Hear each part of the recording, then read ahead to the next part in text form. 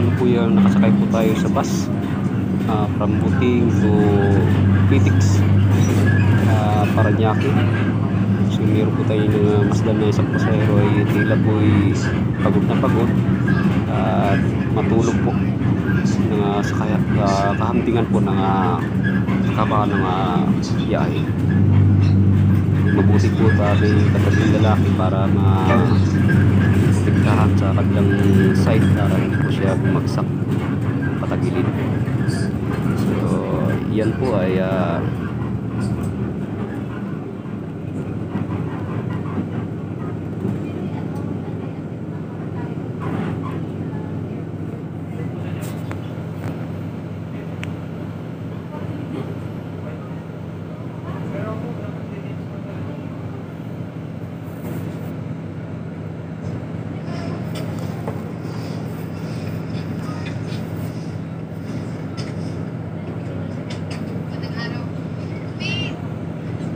guys ah, yung mga taong ah, medyo pagod po sa trabaho ah, kaya galing yun sa mga biyahe na medyo may kalayuan eh, pwede po natin na natin gawin na matulog po habang ma malayo-layo pa yung uh, uh, uh, bibiyahin so yun nga lang po dapat i-cautious tayo aware tayo na meron tayong uh, dapat sandalan sa kabilang uh, gilid na hindi tayo na uh, babag, babagsak mga outbalance po.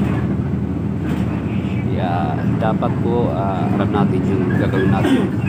Dahil mahirap po pag uh, nasa biyahe tayo na tulog na walang uh, sandalan ng maayos.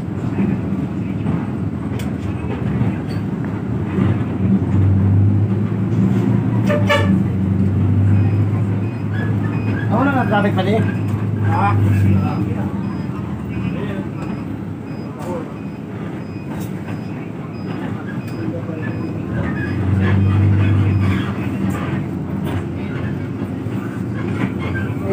Muwa, muwa. Muwa.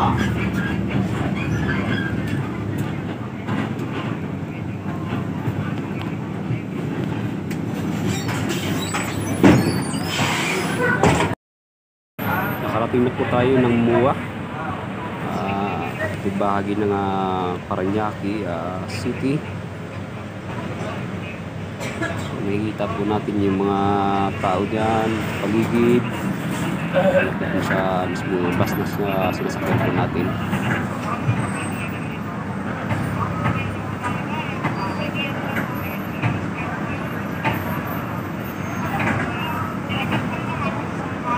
So, yung bus po na sinasakyan po natin, eh, tamang-tama po yung uh, lamig.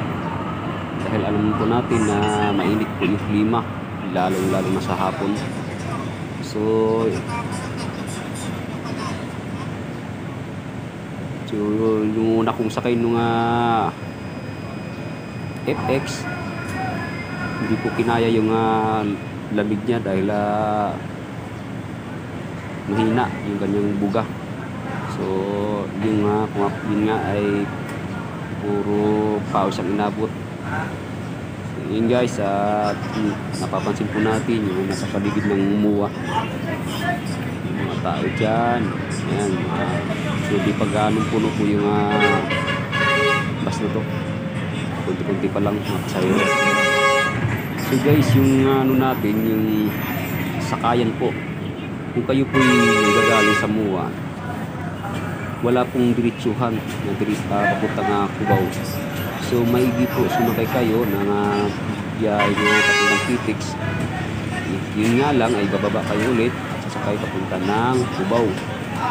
Yun po ang uh, narinig po na sinabi po ng gwardiya na siya nakaliga po na talagang uh, walang shortcut o kaya diretso